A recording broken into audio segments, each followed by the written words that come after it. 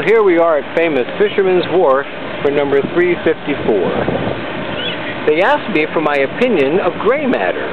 I said it was a matter of opinion.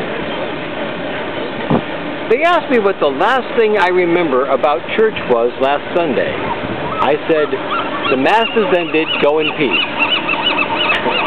My wife and I have an, uh, an agreement. Someday she'll do the cooking, and someday I'll wash the dishes. Boy, I'll tell you one thing.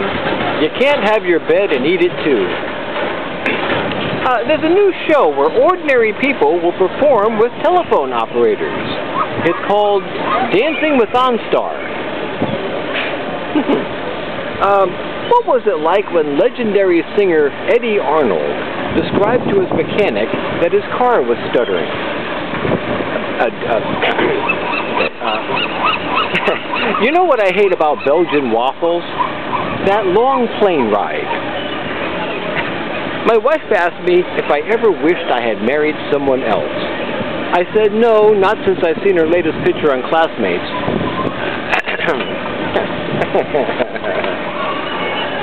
my brother treat oh, my father treated my brothers and I equally. Guilty until proven guilty. Prove it slow. Advice from Joe.